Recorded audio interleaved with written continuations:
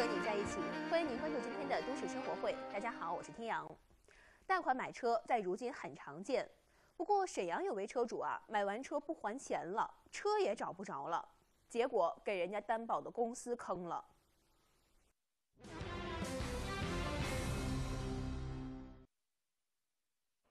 宋先生说，他们公司是做二手车贷款的担保公司，也就是车主与银行之间的中间担保人。据他介绍，有一台车从卖出去没有三个月，车主就不还贷款了。呃，这车它是在二手车市场，然后呢是贷款，由我们担保买的车，是大概一九年七月份，然后他没还几个月，就逾期了，人呢一直联系不上。期？每期还多少钱？分三十六期，啊，每期的话大概是一千多，不到两千。宋先生说：“虽然说这笔钱算下来不到六万块钱，但毕竟是做担保嘛，所以在卖车做贷款之初，公司都是会对车主的经济情况有一定的了解，才能去做这个担保的。他们也是没想到会是现在这样财车两空的局面。当时。”呃，肯定是我们银行，包括我们担保公司审核是通过的，认可他这个征信，我们才帮他这个做这个担保。但是，呃，这个情况的话，也也不是我们想看到的，他就是还不起这个钱了。但是，如果说积极能配合我们还款，跟我们沟通，其实也不至于走到这一步。啊，这个也也不是我们想看到的一个结果。人找不到，然后车上 GPS 呢也找联系不到了，也已经离线了。这可咋办呢？人失联，车上的定位系统也离线了，是被车主刻意拆掉了，还是什么原因呢？宋先生说，他们公司也很懵，没办法，只能起诉了。嗯，被执行人吴世超，他是通过银行贷款，然后购买了这个车辆之后，由申请人给他做的这个就是抵押，然后，嗯，他还不了银行贷款之后，申请人替他偿还了银行贷款，所以现在申请人是向他行使这个追偿权。这起追偿权纠纷案，沈阳市铁西法院于二零二零年五月二十日开始受理。法院经过审理发现，二零一八年九月六日，被告吴某某作为借款人，被告胡某某作为担保人，与原告公司签订了汽车分期付款担保服务合同，约定被告吴某某因购买车辆，向中国工商银行股份有限公司沈阳皇姑支行。申请贷款人民币五万七千九百元，原告公司为该贷款提供了无限连带责任担保。被告吴某某所购买的车辆品牌为东风，后因被告未按期偿还借款，原告于二零二零年二月二十二号代被告偿还五千七百元。又于二零二零年四月二十一日代被告偿还四万七千八百元，共计偿还五万三千余元。原告沈阳永祥宏升汽车销售有限公司起诉被告吴某某及其妻子胡某某归还五万三千五百零八元的购车代偿款。然而，案件进展却始终难以推进，这又是为什么呢？嗯，吴世超本人之前没有联系过，他是那个呃诉讼的时候就是公告送达的，然后一直也联系不上。法院认为，原告作为担保人，代被告吴某某向工商银行偿还贷款五万三千余元后，有权向其追偿。法院最终判决，被告吴某某于本判决书发生法律效力后十日内，给付原告沈阳永祥宏升汽车销售有限公司代偿款五万三千五百零八元，以及相应的利息。同时，被告胡某某对第一项、第二项判决内容承担连带给付义务，如二位被告未按照本判决指定的期间履行给付金钱义务，应当依照法律规定加倍支付迟延履行期间的债务利息。好在，在案件判决的一年之后，被执行车辆有了线索。嗯，那个我们前几天接到了这个申请人提供的线索，说发现了被执行人车辆在康平县的一个呃一个宾馆这个附近，然后今天我们就驱车前往康平，那个采取这个扣押车辆的这个执行措施。嗯，法官也表示，这起案子从开始受理，被告就一直缺席，到了执行阶段，打电话对方不接，送达法律文书也没有收到任何的回音。啊，然后我们也是过了很长时间，大概有有已经有两年了，才几经周折找到这台车，然后我们立马联系了这个铁西法院。在判决过程中，人找不到，车也找不到，那这里边到底发生了什么呢？尽管花费了不少时间，最后还是有了这台车的线索。得到线索之后，法官们刻不容缓地采取了行动。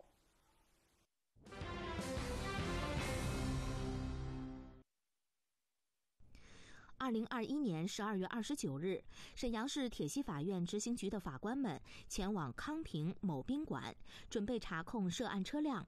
法官们到达宾馆后，便在门前发现了一辆辽 A 牌照的东风汽车，和判决书上提供的车牌号码一致，车型一致，基本可以确定要执行的就是这台车。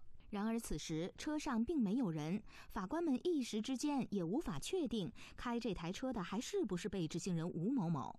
在车辆前挡风玻璃处，法官发现了一个电话号码，那么电话另一头会是吴某某吗？今天是通过在车辆前面看到了他这个电话，然后我们拨打了之后，也是一直都没有人接。嗯，为了不打草惊蛇，法官决定先到宾馆前台打听一下，再做定夺。我们是铁西法院的。哦，然后我想找一下外面停的有一个车，辽 A 呃零六勾 N 零，这个车的车主。前台的这位工作人员对待法官的问话有些懵，随后一位宾馆的负责人走了出来，他表示，法官所说的这台车应该就是他们一个员工的车辆。你说那个吴是吴世超不？是。是啊。啊，你工作人员呗？对呀。啊，那行，你找他吧，太好了，那就就找他。找东方的车主。不，就找他，就找吴世超。就找吴世超。咱不知道谁开的，吴世超。这车就是他的。他搁你这上班是不？嗯，我我打个电话。啊，他搁你上班，他干啥的？我家工人。嗯，工人那行。这申请人是只是告诉了我们说这个车辆是在这发现了，然后因为这个车辆停在了该宾馆就是外面的停车场，所以我们就到宾馆调查一下，看看是否知道这个车辆车主的线索。结果这个宾馆的相关负责人答复说，这个车主可能是他们的一个员工。嗯，通过这个宾馆的负责人，然后给他打电话之后，才联系上他。那么电话接通后，吴某某能回到宾馆和法官们面谈吗？你在哪儿呢？嗯，那个，他那个啥，就他他没在家呀，他在外外边儿，你下边干活。那我我法院呢，找你来了，在宾馆呢。我不知道啊。嗯。让他回来吧，尽快回来。你们多长时间能回来？他来不少人呢，好像还有记者呢。嗯。嗯。你这么说，他能回来了吗？那咋的？你是回来吗？活干啥没呀？你跟他说话。你欠就是永祥宏生。那个车款，对方已经就是起诉了，判决也生效了，现在申请强制执行。你现在能回来吧？我也可以回去。怎么的？我这回我也能回去。啊，那你多长时间能回来？那我我们找一个别的地方呗，可以吗？你你你先过来吧，过来了，然后那个咱们再说，行不？因为你在那儿，我们不影响我们，我这在那上班的不影响我们老板。你快点回来，不会影响的吗？你回来完，咱们就找地方解决去啊！我们在这等你啊。那我得一个一个几小时左右吧。嗯，行，你就尽快吧。哎，好嘞。嗯，好嘞。你们是哪儿的？铁西法院。哎，好嘞。嗯。挂断电话后，法官们大概等了半个多小时，被执行人吴某某回来了。你说这嘎达人太多了，这上别样收拾呗。行，来你们站，不要不要不要不要不我，让我不用你上车，赶紧开到别地儿。你这到哪？你上别地方。行行行，你让人给我。你谁开？你坐副驾驶。行。你你开车，他说到哪儿去到哪儿停，他坐副驾驶啊，走吧。为了减少对被执行人吴某某就职单位的影响，一行人找了一片空旷的地带，一起下车协商，今天是能偿还欠款，还是扣押车辆抵偿欠款。就是这种还有协商的余余地吗？那我们先把车扣回去，然后你再跟申请这种情人这边况我是怎么说呢啊？慢慢协商。啊，我那个完钱了，车你可以取回去。够。钱也不够，现在卖能卖多少钱呢？呃，拍卖的情况下，就是正常估价的话也是三万块钱左右。三万块钱左右。嗯。估价才三万左右。对。申请人对车辆的初步估价是被执行人没有料到的，他觉得买车时候花了不少钱，怎么走到拍卖就会变得这么便宜呢？对，本金五万三千五。五万三千五。啊，然后还有从二零二零年二月份开始有这个利息。啊。呃，利息具体的金额，这个得按照这个判决的标准给你计算一下。嗯。还有相应的诉讼费和执行费。嗯。嗯，怎么也得六万多块钱吧。被执行人吴某某表示，加在一起六万多的欠款，对于他来说偿还的压力有些大。他希望和法官和申请人坦诚地商量出一个最好的结果。这种我是说说白了，我现在就是没有偿还能力，因为我现在就是疫情以疫情以后，你知道吗？因为我之前还款还了三个月好像，嗯。完之前我家里出了很多事情，完疫情又赶上疫情，所有我的资金链全断了。嗯，然后就断供了，是吧？对，所有全断供了，因为我这是我那个我这车属于置换车，当时吧我我那车是五万一我买的，买没有开一年多，我那俩其实稍微体那个有点好转吧，我现在上那个灯塔那嘎、那个塔湾换个车，换个车呢，他说置换车，那个车是和我两万五，两万五这七万五，我里外里我又交了两万多，里外里我花了四万多，这车我到手就九万多。说了半天，吴某某还在纠结两年多以前买车的后悔经历，这显然已经不合时宜了。现是咋呀？是扣你车啊？我明白，我明白这意思。你把你车东西都收拾干净了啊？对对对，我明白。卖完了以后不够的再说。啊，你先收拾车吧。就这种要偿还能力，比如说要是协商要是偿还的话，这个什么时候才能说拍卖呢？这车？扣回就拍。但是在评估拍卖期间，你还是可以跟那个申请人这边比如说这这种协商，我要是我要在网上或者怎么样，我把这个车我自己卖呢，可以吗？不可以。啊？查封那东西怎么自己卖？比如说我要自己，我要是卖，比如说卖六万块钱，我要是比如说你你们不说是三万多块钱吗？是不？嗯。三万多块钱，我比如说我卖了三万多块钱，我我要是通过个人我要卖四万块钱呢，我不能多卖一点吗？属实，你就你就把买家领过来，买家把钱给他，然后给你结存到法院账户，或者是直接给付申请人，他可以把车给你。我们我自己。对于被执行人吴某某的心情，法官能够理解，因此法官们也将这里面的关系梳理得很明白。吴某某可以自己卖车，但是要把车款先给付完毕，才能将车提供给买家。我之前好像还给他打过九百呢，这都都能有记录吧？是不？就之前我是说有一段时间我没有钱了，我说多少我还点，这种记录都能查得了吗？之前曾经偿还过欠款的话，你可以提供那个证据材料，嗯，完我们跟申请人这边核实。如果确实他们这边收过你之前的还款的话，我们可以从本金里扣除。原汁陈吉铁棍山药粉条产自山东菏泽，国家地理标志产品，富含皂苷、氨基酸、蛋白质，六百年古法传承，无添加。五斤铁棍山药做出一斤粉条，面而甜，软而糯，筋道爽滑，久煮不断，必备家常菜。百搭山药粉条，两百五十克一袋，六袋只要五十九块九，十袋装加送两袋。扫描二维码关注都市频道都市生活会微信公众号，找到都市会，尽享好实惠。抗甲亢治结节，找国医甲状腺医院。沈阳国医甲状腺医院携手都市频道，邀请京沪甲状腺专家引进微波消肿技术，打造甲状腺康复新纪元。甲状腺康复热线：六二六八六六六六。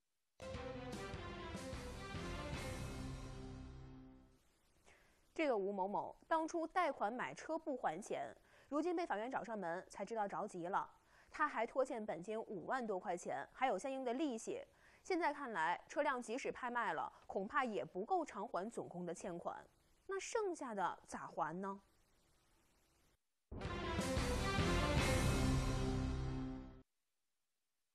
比如说，我现在就是那个车卖了也好，我欠款，我现在没有能力偿还，会有什么后果？我起码会申请拘留。拘留多长时间？你这边就是，因为我现在我刚刚缓过来，去年手还碰一下。嗯。我这所有现在我就是我不可能通知我父母，我父母现在身体一点都不好。嗯。如果是告老头老太太，一下容易就是过去。你这边是积极偿还，积极偿还，然后你可以跟申请人这边达成。对，我现在吧我不管是欠欠欠收入，慢慢去还。我现在我不，我就说实话，不管是欠你们，我银行我都欠老了。嗯。我就有啥说啥，我就是我我也不想因为欠欠款影响我我家孩子。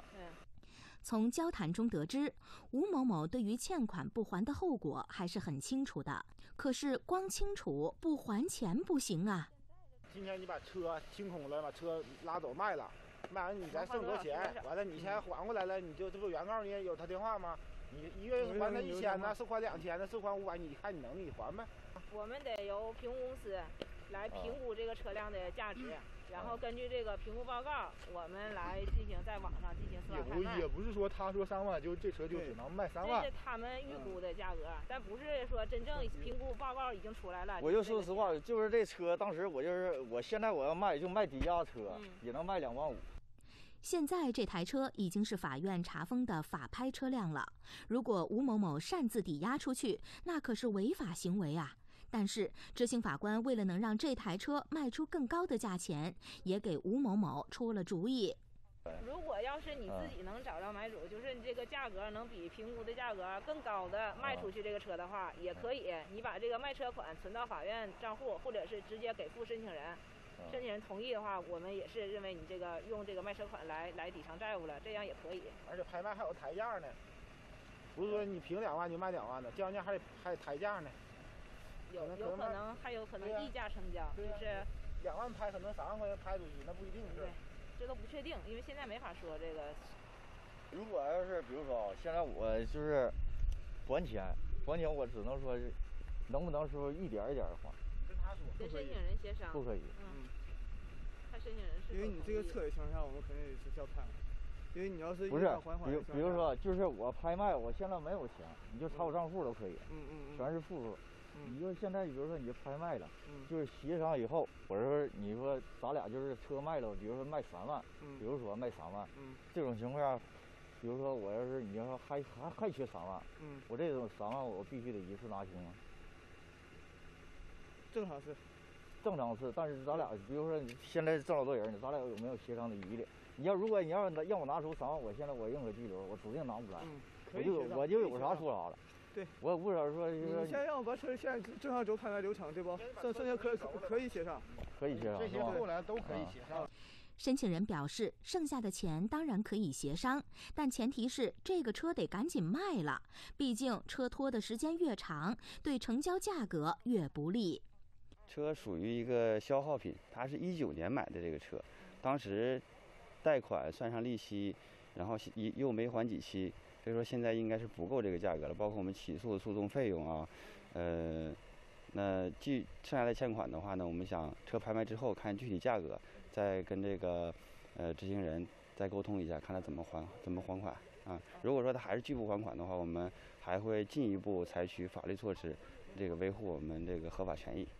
呃，车辆扣押回来之后，会你进行评估拍卖，由第三方评估公司对这个车辆的现状进行勘查，然后做出评估报告。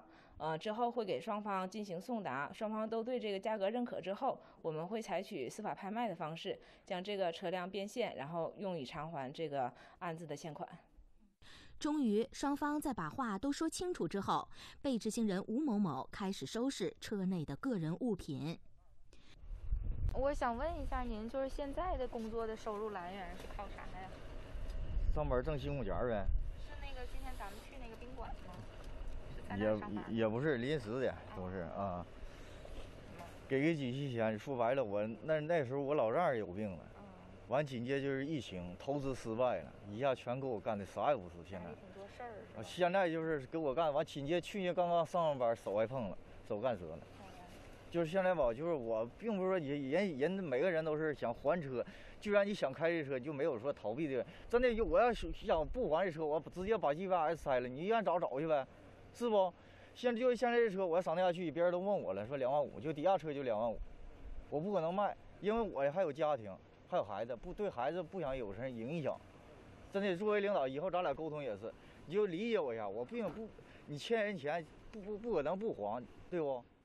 对于被执行人的难处，申请执行方的工作人员也表示理解。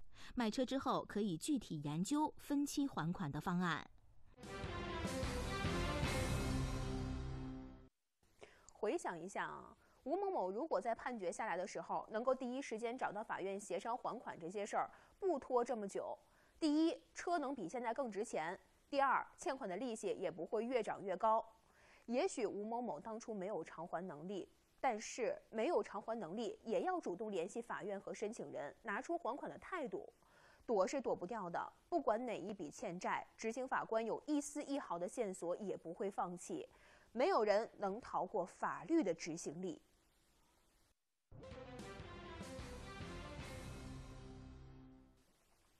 说沈阳的莫先生在多年前帮人返修厂房。活干完了，但是还剩四十多万的工程款，对方说啥就不给了，而且一拖就是十年，官司也打了，判决也下来了，钱还是没到位。那这个厂子拖欠工程款十年，是没钱还呢，还是不想还呢？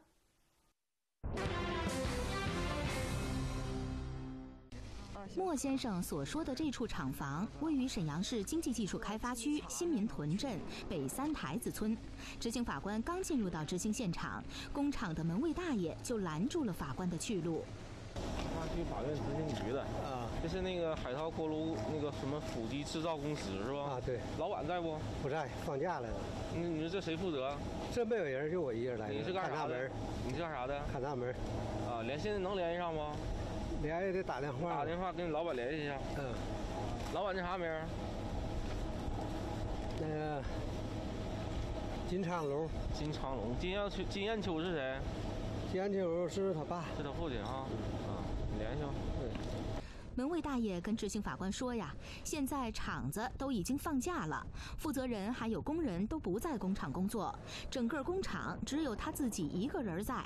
随后，门卫大爷给现在的负责人金某某打去了电话，联系上了，来黑龙江那边的安装的。现场别的负责人呢？没有，都放假了，就我一人来的。我就看大门。这是干啥？那这是干啥？作业干啥的？这是？他这是人家那个咱们租出的地上，人这是别的老板。租给谁了？你这厂房租出几家了？现在就他一家，就这一家，就现在占用这一块空白地呗。呃，对对。然后那厂房那里头呢？那那头是那个做楼板的，那是二老板租的，那不知道了。二老板啊，这里还不是一个老板说了算呗？对。啊。这哥俩分家了，原来是一个老板，完这老头死了，完哥俩分。哦，啊，那个现在那个法人叫什么呀？金什么金艳秋啊？啊，他去世了。金艳秋没去世，原来这海涛锅炉嘛，海涛，金海涛。金海涛去世了。啊，金艳秋是他儿子。对。然后那个你说刚才说那金什么昌？金昌龙，金昌龙是谁呀？啊，是是那死那老头孙子。啊，孙子啊，你是金艳秋和什么金昌龙是父子呗？对。啊。门卫大爷告诉执行法官，现在这个工厂是由工厂的法定代表人金延秋的两个儿子实际经营，场地也租出去了一部分。干这个厂房的时候，大概是在哪一年干的？零七年。零七年，然后干厂房花费了。花费定三百，三百多，三百多万，不到四百万。申请人莫先生说，在二零零七年十月份的时候，沈阳海涛锅炉辅机制造有限公司就找到了他，让他们的工程队改造厂房。厂房改造的费用大概三百五十多万，而这笔钱都是莫先生这边垫付的。哦，然后他答应什么？他说当时投资建厂去，说手里没有那么多钱，生产以后完陆续给点，陆续给。莫先生说，当时金延秋找到莫先生，说他当时一次性拿不出来这些钱，但是工程赶着干，金延秋这边钱也紧着给，工程也算平稳的干完了。大概给过咱多少钱？给过我三百多万，还差多少钱？还差我四十七万。嗯。这工程款的大头，海涛锅炉这边是没差过，可是就等着四十多万的尾款了，这钱就说啥不给了。呃，他父亲退退家二线以后，到他儿子手上就不给了。他他父亲大概是什么时候那个退居二线，然后不给？在一二年左右吧。一二年左右。一二年到一三年左右。据了解，之前一直都是金延秋管这个厂子，钱呢虽说没一起给，但是陆陆续续的，从来也没断过。可是直到二零一二年，金延秋退居二线，由其儿子管事儿之后，剩余的四十多万欠款就说啥都不还了。不给咱钱之后，咱找没找过这当时？找过，年年找，一年得找过两次三次。哦。完了年年拖，说今年拖到年底吧，说今年有效益的年底给你点儿。年底完又拖到明年，就是一年一年拖嘛，拖来拖去，我找到他二儿子，说我这个账目不对，重新给我审账，往下抹。我说抹也行，你重新算吧，算完也还是不给，也没有钱。申请人莫先生说，他多次找过金延秋的儿子，跟金延秋的二儿子算完账后，由四十七万变成了四十五万，莫先生也同意了这个数。可是重新对完账后，一晃几年又过去了，这四十五万仍是一分钱没还过呀。这笔钱对于咱来说，对咱生活有没有什么影响？真没有影响呢，我的家底儿就在这儿呢，多少年了，你知道咱们一个农民家打工，出外打工靠挣点钱，全压到这里了。申请人莫先生说自己实在是忍不了了，于是，在二零二一年九月，将沈阳海涛锅炉辅机制造有限公司起诉到了沈阳市中级人民法院。法院下达判决，要求沈阳海涛锅炉辅机制造有限公司在判决生效十日内还清欠款四十五万元以及利息。可是判决是下来了，沈阳海涛锅炉辅机制造有限公司并未按照判决履行还款义务，于是莫先生向法院申请了强制执行。嗯，本院于二零二一年十月十四日受案执行。呃，执行之受受理之后呢，本院向那个被执行人发出执行通知书、财产报告令。被执行人在规定期限内既未报告财产，也未履行这个生效法律文书的义务。嗯，本院通过这个网络查控，那个未暂未发现被执行人有可供执行财产。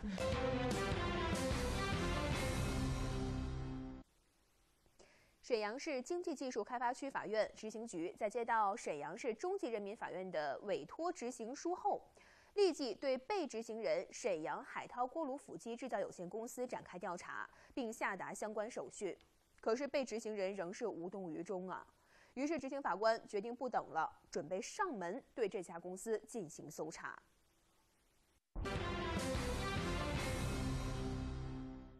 执行法官准备对涉案公司进行搜查，随后就发生了片子刚开头的一幕。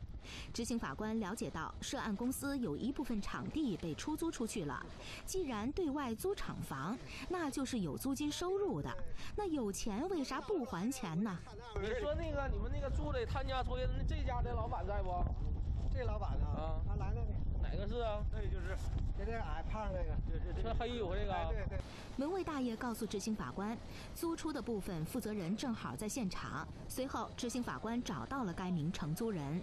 这涉及到这个海涛锅炉这个被执行人，那我不是这儿的。我知道，他说这个厂房是租给你搁这干活啊。啊，对。你那个啥时候租的？租多长时间？我前年租的，租完始终搁这存货也没动它。然后是租的这一块呗。啊，对对对对。那厂房里头有吗？没有。你就租的这外边的场地呗。对对对。租金多少钱？然后怎么付的？租金年付。啊。多少钱呢？这我还真不知道啊，我得问一下我妈他们。我是他没搁家呀，住院了，我现在在帮他装货。我给你问问。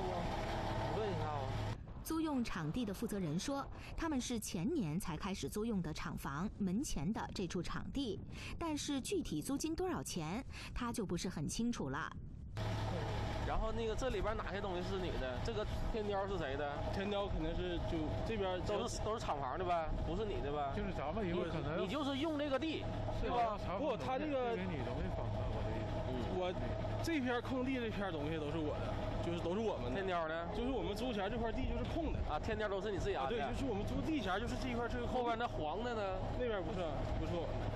就是这个铁轨什么天雕，还有这一些建筑物，就是这些。就是从哪儿呢？从那个黄的往这头来，这片全是我们的，就是就是跟那边空地似的，这是都是我们。那黄的不是？对，那黄的不是。啊，那边那黄的也不是。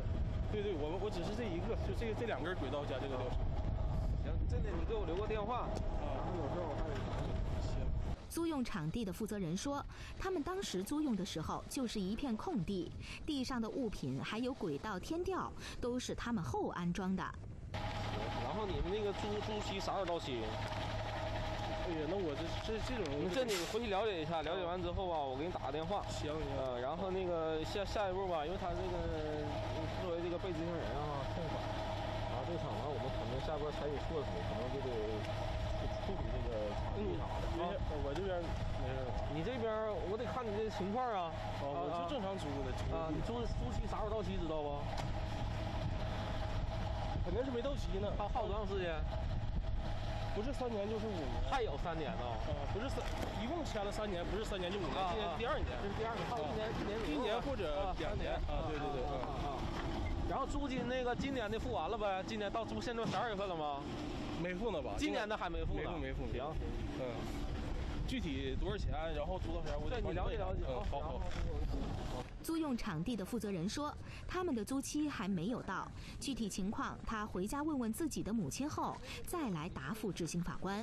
承租者这块儿，如果说呃这边是真实的承租合同关系啊，咱们这边对这个承租人这个如果有交付的租金予以那个下这个协助执行通知书，呃这个冻结这个被执行人这个租金这个收益，呃这个这个租赁期间呢允许这个租户进行正常的那个活动。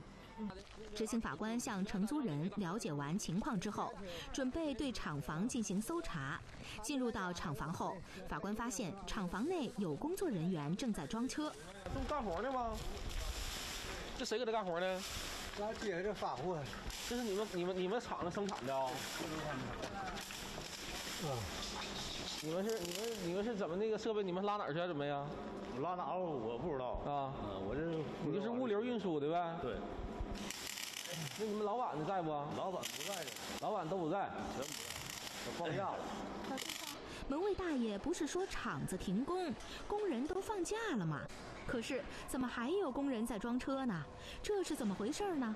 随后，执行法官跟金延秋打去了电话。喂，你好。哎，你好，你好。是金延秋是吧？啊，对。哎，我是那个沈阳经济技术开发区法院执行的卢法官。啊，什么事啊？这边有个申请人叫莫长发，起诉你这个海涛锅炉这个辅机制造公司有个有个执行有个案件，知道不？啊，知道。有个四十七万的，你这个这个钱你们公司怎么履行啊？这个你找咱们的律师吧。找你们哪个律师？你们法院有他的，还有他那什么玩意儿呢？金延秋跟执行法官说，他们已经把这起案件交给律师了，有什么事儿，执行法官可以找他的律师进行沟通。你这样啊，你你是这个公司的法定代表人，我们现在找你。你找我是我全权托给那律师了，你就找他就行了，他怎么执行怎么算。你你你们得履行这个义务啊，不是说让你律师履替你履行的义务啊。我已经没有委托他了吧，已经全部交给他了。你委托他没有用，我现在在你公司厂子呢，你要是这边履行不了，我就查查封你公司下边的这些设备东西了，财产了。你查封不查封，人这边律师这边还还管上诉呢，你你你查封有什么用啊？你就是说你现在这现在你现在这个判决不已经是二审了吗？你二审我还得还有高院的吗？人家管上诉呢，咱。你现在就是说你申请再审了呗？哎，对。行，我现在跟你。你没啊，你没收不了，我现在已经是上诉。金延秋表示，自己已经委派律师处理这个案子，并且已经向省高院提起上诉。我现在跟你说啊，就是根据法律规定，二审判决下达之后就已经生效了，就可以强制执行。你申请再审是不影响我们执行的，知道吗？你执行不执行吧？哈，我这边话申请的，我这律师，完你跟律师急纳嘛答复这事儿。那你这边你就让律师给我打电话，今天我就对你们厂房里边设备进行查封了啊，有异议到法院提异议去啊，好不好？听听没？我说我今天就对你厂房内的设备进行查封，如果说你有异议的话，你就是上我们法院去提执行异议去啊。你查封不行啊，你为什么要查封呢？你判决生效了，你们不履行啊？我我怎么不履行了啊？那你那你怎么履行了？我听听，来，你怎么履行了？没告诉你们让律师给你打电话吗？那你让律师，你让律师给我打吧，你让律师给我打电话吧啊。好嘞。那那那你电话是多少啊？谁知道啊？这个手机号就是我给你打过去，这个手机号就是我手机号。好，我让律师给你打。嗯，让他给我打吧。好嘞，嗯。挂断电话后，执行法官进入工厂内部查看执行现场。这时，被执行人的代理律师给执行法官打来了电话。哎，你好，法官。你好。我是那个海涛锅炉的那个代理人。嗯，你好。你好。那个之前嘛，这案子看我收到那个啥，我是给联系，他之前那个一直没打通，然后年底这块儿，他这个案子是咋的呢？法官就是现在吧，我们我跟那个当事人那边吧也都沟通好了，因为啥呢？跟哪个当事人？是申请人还是被执行人？就是被执行人，就海涛锅炉这边。啊。然后呢，我们这个案子吧，现在申请再审了。啊。再审了之后呢，已经立案了，然后那个那个票子呢，给就是说传票也给我们邮过来了。再审再审立案有没有终止执行裁定？那个没有。没有。法官没有。嗯。那完没有是啥呢？因为我想的是啥呢？就是我们这边吧，就到最后，因为再审的时间不也是短嘛，也没有多长。嗯。然后呢，如果说这边的话呢，如果到最后，我如果我把我们可以把这个钱先付出去，但是不还得执行回转吗？嗯。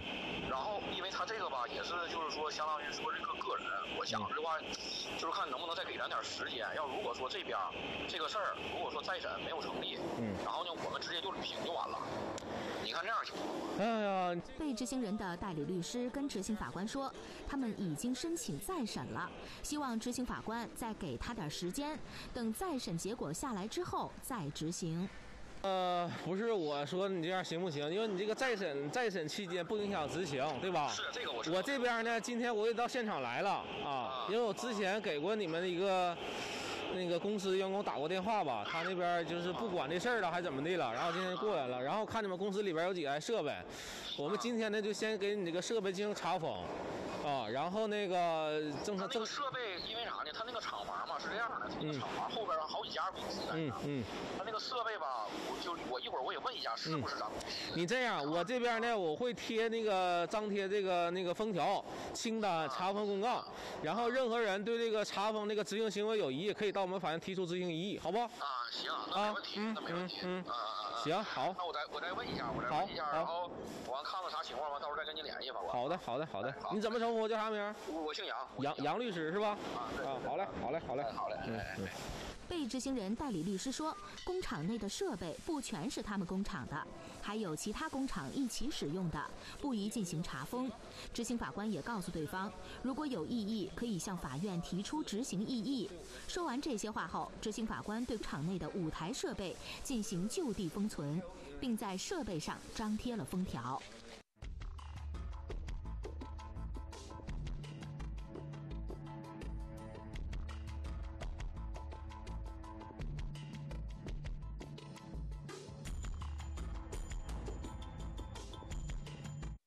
经过这个查封之后，在在公告期十五天之后，如果没有人提出执行异议，本案将对这个呃查封设备进行评估拍卖，然后视这个案件的发展情况，再决定是否采取下一步的强制执行措施。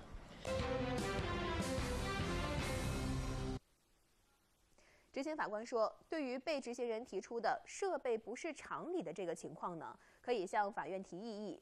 如果法院采纳了他提供的证据，可以解除查封。否则，下一步准备对涉案的这些设备进行评估拍卖，抵偿所欠债务。如果设备价值不足以偿还给申请执行人的话，下一回还会继续查封涉案公司名下的其他财产，来兑现申请执行人的利益。位于咱们辽宁葫芦岛的新城古城，有着五百多年的历史，在冬日里，这座古城散发着别样的魅力。节目最后，一起来看看。